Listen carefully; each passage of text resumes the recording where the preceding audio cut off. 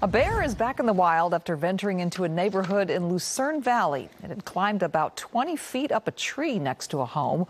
Officers tranquilized the bear, and then San Bernardino County firefighters set up a ladder and rope system to get it down. They also gave the bear some oxygen.